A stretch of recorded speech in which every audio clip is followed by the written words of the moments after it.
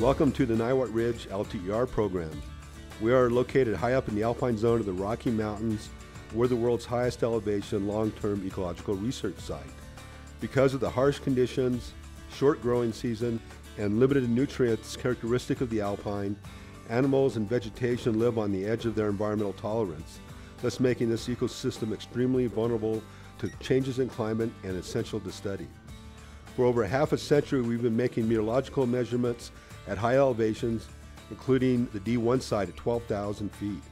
These long-term climate measurements lay the foundation for numerous and innovative research programs currently taking place at the Niwot Ridge LTER, including a 25-year record of precipitation chemistry.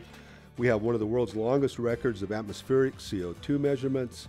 Vegetation is carefully studied for the effects of increasing pollution from the atmosphere.